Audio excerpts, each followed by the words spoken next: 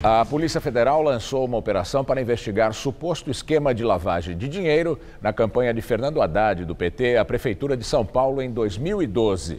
A Polícia Federal pediu que o ex-presidente e a ex-vice Nádia Campeão fossem conduzidos, aliás, desculpa, o ex-prefeito fossem conduzidos para prestar depoimento. Mas o juiz da primeira zona eleitoral de São Paulo, Márcio Antônio Boscaro, negou. Haddad deve ser intimado.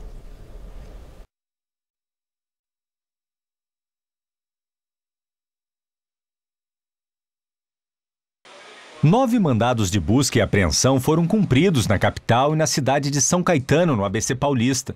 Os agentes da Polícia Federal estiveram em gráficas ligadas ao ex-deputado estadual Francisco Carlos de Souza, o Chicão do PT. O inquérito é um desdobramento da Operação Lava Jato e apura o pagamento pela empreiteira UTC de dívidas de campanha em 2012 do então candidato à Prefeitura de São Paulo, Fernando Haddad, pelo Partido dos Trabalhadores.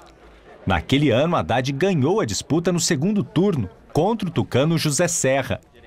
Os pagamentos seriam referentes a serviços gráficos, no valor de 2 milhões e 600 mil reais, que não foram declarados à Justiça Eleitoral.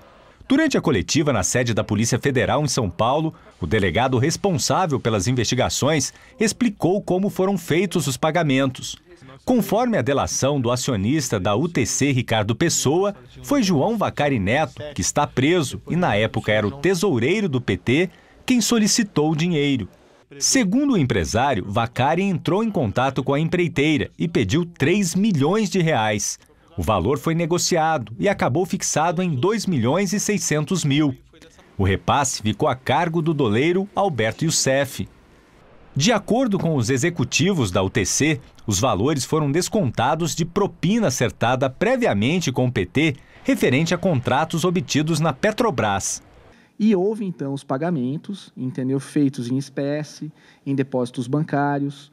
Foi, a negociação em si foi essa.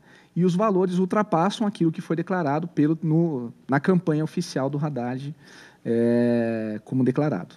A Polícia Federal chegou a pedir a prisão dos supostos envolvidos no esquema, entre eles o ex-deputado Francisco Carlos de Souza, mas a Justiça Eleitoral negou. O próximo passo da PF é ouvir os investigados.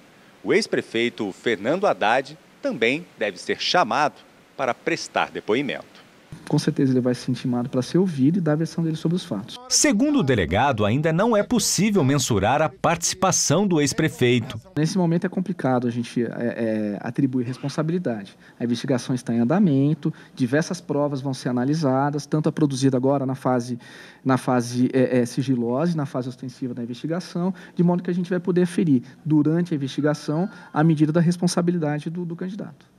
E de acordo com a Polícia Federal, os investigados podem responder pelos crimes de lavagem de dinheiro e falsidade ideológica na prestação de contas à Justiça Eleitoral. A assessoria de imprensa de Fernando Haddad afirmou que a gráfica citada do ex-deputado Francisco Carlos de Souza prestou apenas pequenos serviços devidamente pagos pela campanha e registrados no TRE. Segundo a nota da assessoria, a UTC também teve interesses contrariados na gestão do petista, o que seria um indício de que a empresa não tinha motivo algum para ajudá-lo no pagamento de dívidas.